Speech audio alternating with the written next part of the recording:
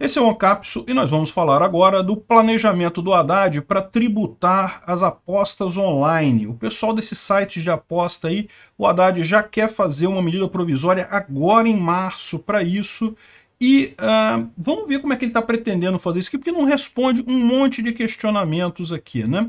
E além disso, você tem um outro problema, que é justamente a questão da, a, da reforma tributária como um todo, que não está sendo bem aceita por municípios. E também nós vamos falar aqui nesse segmento sobre a ideia do Lula de taxar os ricos para bancar o Bolsa Família. Será que vai funcionar isso? Vamos falar sobre essas coisas.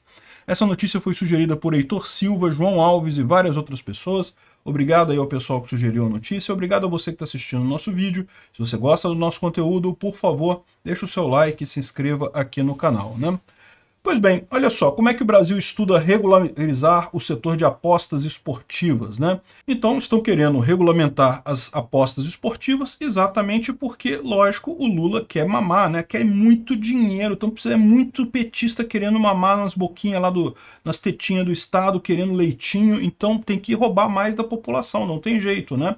E daí já inventaram um papo de que não, que tem que regulamentar a aposta online, porque a aposta online está num limbo jurídico e não sei o que lá. E aí, o que, que eles estão querendo falar aqui, é, o que, que eles estão querendo fazer aqui é basicamente é, criar um mecanismo de outorga. Então, o que, que é outorga? Para um sistema, um site desses aí, um Pixbet da vida, um, é, é, é não sei quais nomes aí, é, Sporting Bets, não sei o que lá, para esses sites operarem aqui no Brasil, eles teriam que pagar uma taxa de um valor X, aí, segundo eles estão falando aqui, 30 milhões de reais válidos por, por cinco anos. Então, durante esse período de cinco anos, eles estariam é, é, validados nessa outorga aí. Quem quiser operar é só pagar essa taxa uma vez só. Isso é um valor relativamente pequeno. Esses sites ganham muito dinheiro no final das contas, então para os sites isso não é grande problema. Na verdade, os sites gostam disso daí, sabe por quê? Porque isso tira os concorrentes pequenos. Toda regulamentação tem esse condão, né? Você privilegia os grandes sites e acaba impedindo o surgimento de sites menores. Então, no final das contas, a ideia do governo é justamente isso. Os empresários nem reclamam disso, eles pagam com gosto, porque sabem que no final das contas vão ser privilegiados. Como eles estão dizendo aqui, vai acabar ficando só 10% dos sites que atuam atual, que é só 10% dos sites de apostas vão continuar operando, é, eles esperam que em torno de 70 e 100 empresas. Então essas 70 e 100 empresas agora elas têm que pagar essa grana para o governo, mas agora são só elas, então não tem mais competidor pequeno, e aí, meu amigo, acabou, né? O preço vai subir, os custos vão subir desse pessoal. E aí, além disso, no Ministério fala-se entre 10% e 20% do valor do prêmio, sem nenhum tipo de isenção. Ou seja, você fez a sua fezinha, ganhou seu dinheiro, 10% é do Lula, meu amigo. É, na sua sorte é o Haddad que fez isso daí, a parte da sua sorte vem do Haddad, né? Enfim, então o que eles estão dizendo aqui é que justamente eh, as empresas teriam um prazo de seis meses para se adequar a essas regras. É, segundo eles dizem aqui, isso é equivalente à, à, à, à, regulamentação de outros países e coisa e tal. Embora o que eles não digam aqui é o problema da, do, do jogo dito fora do normal. Ou seja, qual que é o problema dessa história? Beleza, você regulamentou, você tem uma empresa que está prestando serviço aqui no Brasil de jogos online.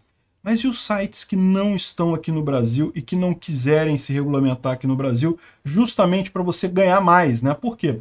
No final das contas, 10 a 20% do valor do prêmio é uma coisa considerável, é um dinheiro bom isso daí, né? A pessoa que aposta vai acabar ganhando menos nos sites regulamentados pelo governo e poderia ganhar mais em sites não regulamentados.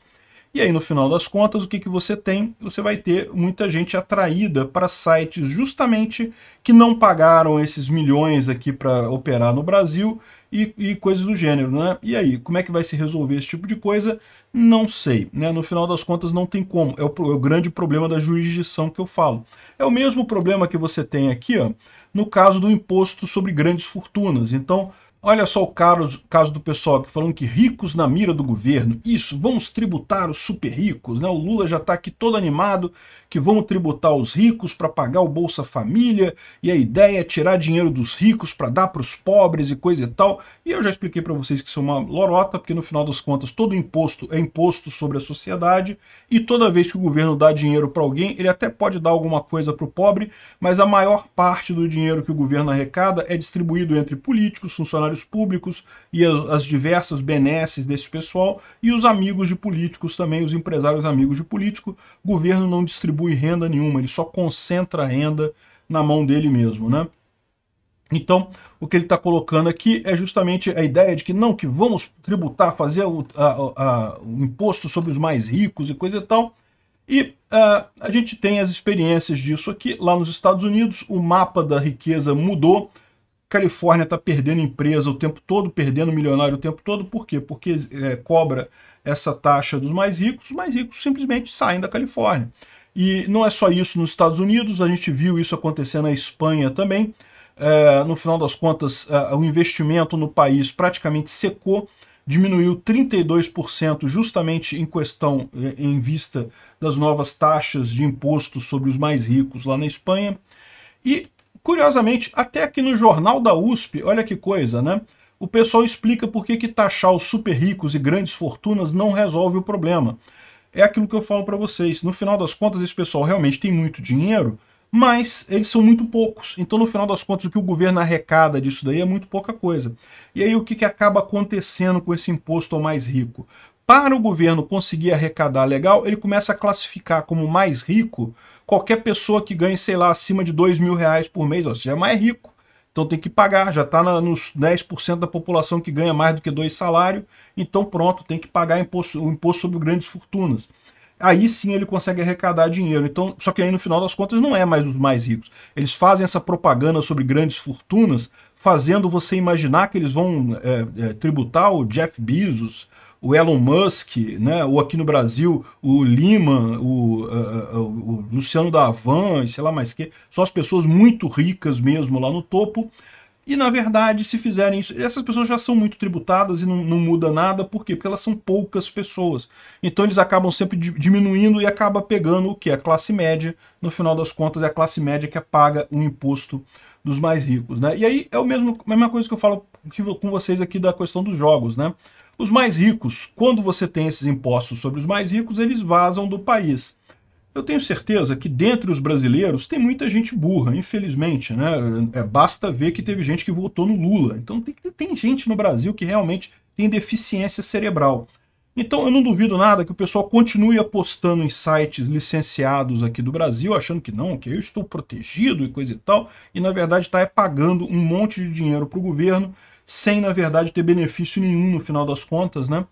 Agora, é, a maior parte do pessoal que aposta de verdade, que faz questão de apostar, vai preferir fazer isso fora do país, é, por sites que não estão registrados aqui. É a mesma ideia dos do super ricos que vazam do Brasil, né? E essa não é o único problema que o, o Haddad vai enfrentar com essas reformas tributárias dele, tá? Também os municípios não querem as PECs do IVA, aquele imposto de valor agregado. Por que isso? Porque o ISS é mais do que meramente arrecadação para o município. O município tem autonomia de aumentar ou diminuir o ISS, ISS né? imposto sobre serviço, conforme aquela tipo de indústria, tipo de serviço. O município pode se especializar num determinado tipo de indústria e, e aí baixar o imposto ali, coisa e tal. Então, com o IVA, o Imposto de Valor Agregado que eles querem colocar, isso simplifica, é verdade, mas você tira do município a possibilidade dele ter uma política própria é, de impostos. Né? Então, ou seja, isso os municípios estão reclamando desse tipo de coisa. Aí já está sendo criada a ideia do imposto de valor agregado dual, que na verdade vão ser dois impostos que juntos dão valor agregado. Lembra que eu falei para vocês? Toda reforma tributária é isso. Pode começar até com uma. Ah, não, vamos simplificar, não, vai ser mais simples o imposto coisa e tal. Mas aí vai ter alguém que vai chorar. Não, peraí, não pode, porque isso me prejudica. Eu quero ter não sei o que lá, eu quero ter não sei o que lá. E por isso que eu digo para vocês, não adianta, já estão falando aqui, ó, ah, mas então o IVA dual já não simplifica do mesmo tipo as tipologias tributárias, vai ficar, acabar ficando a mesma coisa que já tem hoje em termos de eh, o IVA dual vai ser metade ISS, metade ICMS. Pronto, já ficou a mesma coisa que você tem hoje, não mudou em nada a, a, a situação, né? Aí eles reclamam de várias outras coisas aqui, que vai acabar tendo uma alíquota, é, é, a gente já falou que vai ter uma alíquota muito maior, para o imposto de serviço, no final das contas. Ou seja, já está tendo uma crítica enorme a essa ideia aqui. E lembra, essa crítica vai ter aqui e vai ter em outros, em outros pontos também da reforma tributária.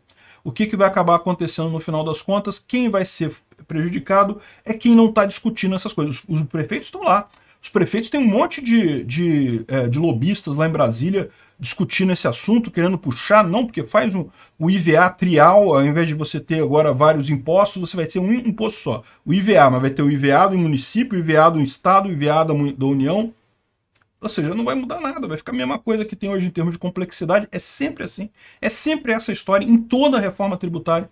E uh, a única pessoa que se ferra no final é você, eu, é o contribuinte, porque a gente não está não tem o, o contribuinte do indivíduo, né? Porque os grandes contribuintes, as grandes indústrias, o comércio e coisa e tal, o pessoal também está mandando lobista para lá, né? Só a gente que se ferra no final dessa história. Reforma tributária não, deixa quieto. Ah, o governo não tem dinheiro, beleza, quebra, demite funcionário, diminui de tamanho, é isso aí. Não, reforma tributária não. Obrigado por assistir o vídeo até o final. Além de curtir, compartilhar e se inscrever no canal, considere se tornar patrocinador com valores a partir de R$ 1,99. Clique no botão Seja Membro abaixo para saber as condições e vantagens de patrocinar o canal. Mais informações sobre o nosso projeto, visite nossos sites indicados na tela.